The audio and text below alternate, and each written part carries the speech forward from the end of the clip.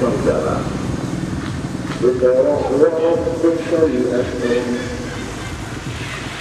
Percayalah dan Tuhan pula yang maha mulia.